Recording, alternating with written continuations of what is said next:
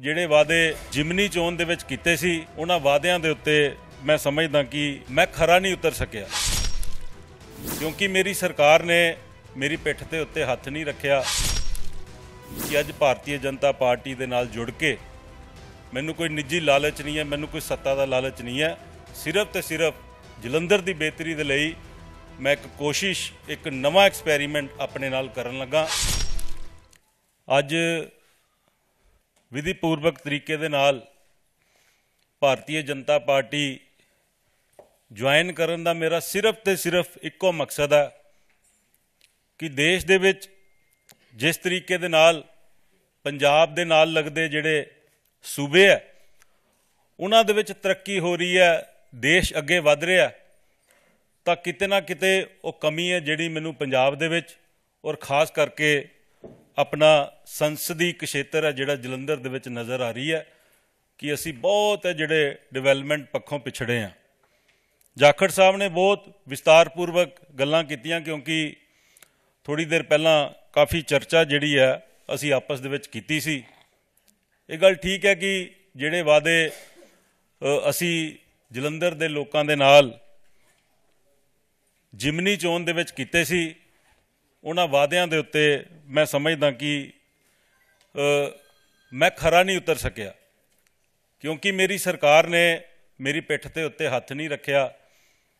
ਜਲੰਧਰ ਦੇ ਜਿਹੜੇ ਕੰਮ ਸਨ, ਚਾਹੇ ਉਹ ਸੜਕਾਂ ਦੇ ਸਨ, ਚਾਹੇ ਉਹ ਪਿੰਡਾਂ ਦੀਆਂ ਫਿਰਨੀਆਂ ਦੇ ਸਨ, ਚਾਹੇ ਉਹ ਪਿੰਡਾਂ ਦੇ ਛੱਪੜਾਂ ਦੇ ਸਨ, ਚਾਹੇ ਉਹ ਲੋਕਲ ਬੋਡੀ ਸ਼ਹਿਰ ਦੀਆਂ ਸੜਕਾਂ ਸਨ, ਤਾਂ ਬਹੁਤ ਜਿਹੜੇ ਕੰਮ ਹੈ ਮੈਂ ਸਮਝਦਾ ਕਿ ਉਹ ਸ਼ੁਰੂ ਹੀ ਨਹੀਂ ਹੋ ਪਾਏ। ਔਰ ਦਿੱਲੀ ਦੇ ਵਿੱਚ ਆਦਰਨੀय ਪ੍ਰਧਾਨ ਮੰਤਰੀ ਸ਼੍ਰੀ ਨਰਿੰਦਰ ਮੋਦੀ ਜੀ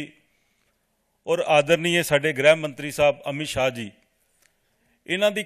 ਕਾਰਜਕਾਰਨੀ ਇਹਨਾਂ ਦਾ ਜਿਹੜਾ ਵਰਕਿੰਗ ਸਟਾਈਲ ਹੈ, ਉਹ ਮੈਨੂੰ ਪਿਛਲੇ ਬੀਇੰਗ ਲੋਕ ਸਭਾ ਸਦੱਸੇ ਉਹਨਾਂ ਦੇ ਨਾਲ ਵਿਚਰਨ ਦਾ ਮੌਕਾ ਮਿਲਿਆ ਤਾਂ ਮੈਂ ਬਹੁਤ ਪ੍ਰਭਾਵਿਤ ਹੋਇਆ। ਜਿਹੜੇ ਜਿਹੜੇ ਕੰਮ ਮੈਂ ਜਲੰਧਰ ਦੇ ਲਈ ਲੈ ਕੇ ਗਿਆ,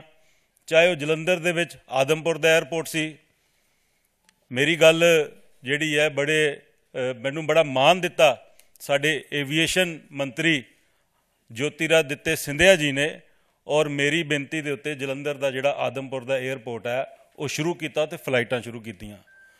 ਮੈਂ ਨਵੀਂ ਟ੍ਰੇਨ ਦੀ ਮੰਗ ਕੀਤੀ, ਤਾਂ ਆਦਰਨੀय ਅਸ਼ਵਨੀ ਵੈਸ਼ਨਵ ਜੀ, ਉਹਨਾਂ ਨੇ ਜਲੰਧਰ ਦੇ ਲਈ ਵੰਦੇ ਭਾਰਤ ਟ੍ਰੇਨ ਦਿੱਤੀ ਔਰ ਜਲੰਧਰ ਦੇ ਵਿੱਚ ਖਾਸ ਤੌਰ ਦੇ ਉੱਤੇ ਜਿਹੜੇ ਜਲੰਧਰ ਦੇ ਲੋਕ ਸਨ ਉਹਨਾਂ ਦੀ ਮੰਗ ਦੇ ਉੱਤੇ ਉੱਥੇ ਇੱਕ ਸਟਾਪੇਜ ਵੀ ਦਿੱਤਾ, ਜਿਹੜਾ ਕਿ ਪਹਿਲਾਂ ਨਹੀਂ ਸੀ। ਤਾਂ ਇਸ ਤੋਂ ਇਲਾਵਾ ਜਲੰਧਰ ਦੇ ਬਹੁਤ ਸਾਰੇ ਇਹੋ ਜਿਹੇ ਰੇਲਵੇ ਕ੍ਰੋਸਿੰਗ ਹੈ ਜਿਨ੍ਹਾਂ ਦੇ ਉੱਤੇ ਅੱਜ ਵੀ ਫਾਟਕ ਲੱਗੇ ਆ ਔਰ ਉਹਨਾਂ ਫਾਟਕਾਂ ਨੂੰ ਦੂਰ ਕਰਕੇ ਉੱਥੇ ਆਰਓਬੀ ਜਾਂ ਆਰਯੂਬੀ ਉੱਥੇ ਬਣਾਉਣ ਦੀ ਜ਼ਰੂਰਤ ਹੈ ਚਾਹੇ ਉਹ ਫਲੋਰ ਹੈ ਚਾਹੇ ਉਹ ਜਲੰਧਰ ਦਾ ਆਦਮਪੁਰ ਦਾ ਹਲਕਾ, ਚਾਹੇ ਉਹ ਭੋਗਪੁਰ ਹੈ ਚਾਹੇ ਜਲੰਧਰ ਦੇ ਦੂਸਰੇ ਕਰਤਾਰਪੁਰ ਏਰੀਆ ਹੈ ਉੱਥੇ ਰੇਲਵੇ ਕ੍ਰੋਸਿੰਗ ਦੀ ਬੜੀ ਜ਼ਰੂਰਤ ਹੈ। ਔਰ ਇਹਦੇ ਨਾਲ ਨਾਲ ਦੋ ਲਫ਼ਜ਼ਾਂ ਦੇ ਵਿੱਚ ਮੈਂ ਆਪਣੀ ਗੱਲ ਮੁਕਾਵਾਂਗਾ ਕਿ ਮੈਨੂੰ ਇੱਕ ਆਸ ਹੈ ਜਿਹੜੀ ਅੱਜ ਨਜ਼ਰ ਆਈ ਹੈ ਜਲੰਧਰ ਦੇ ਲਈ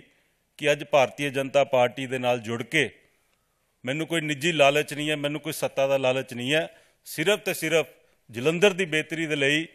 ਮੈਂ ਇੱਕ ਕੋਸ਼ਿਸ਼, ਇੱਕ ਨਵਾਂ ਐਕਸਪੈਰੀਮੈਂਟ ਆਪਣੇ ਨਾਲ ਕਰਨ ਲੱਗਾ ਔਰ ਮੈਨੂੰ ਇਸ ਗੱਲ ਦਾ ਮਾਣ ਹੈ ਕਿ ਜਲੰਧਰ ਦੇ ਲੋਕ